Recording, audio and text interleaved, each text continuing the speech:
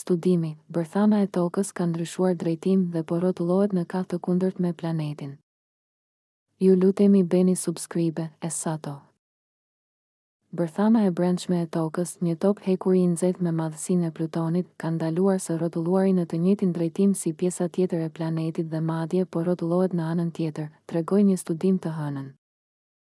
Përafërsisht pesë pikë zero zero zero kilometra, tre pikë njëqind milje, nën sipërfaqen ku jetojmë, ky planet brenda planetit mund të rrotullohet në mënyrë të pavarur sepse noton në bërthamën e jashtme të metalit të lëngshëm.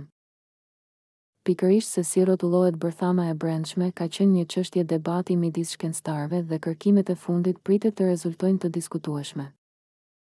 Ajo që dihet pak për bërthamën e brendshme vjen nga matja e dallimeve të vogla në valët sizmike të krijuara nga tërmetet ose ndonjëherë nga shpërthimet bërthamore ndërsa ato kalojnë në mes të tokës. Duke kërkuar të gjurmojë lëvizjet e bërthamës së brendshme, hulumtimi i ri i botuar në revistën Nature Geoscience analizoi valët sizmike nga tërmetet e përsëritura gjatë gjashtë dekadave të fundit. Autorët e studimit, Xiaodong Song dhe Yi Yang nga Universiteti i Pekinit të Kinës, thanë se zbuluan se rrotullimi i bërthamës së brendshme u ndal afër rreth vitit dy mijë e nëntë dhe më pas u kthye në një drejtim të kundërt. Ne besojmë se bërthama e brendshme rrotullohet, në lidhje me sipërfaqen e Tokës, përpara dhe mbrapa, si një lëkundje, thanë ata për AFP. Një cikël i lëkundjes është rreth shtatë dekada, që do të thotë se ndryshon drejtim afërsisht çdo tridhjetë e pesë vjet, shtuan ata.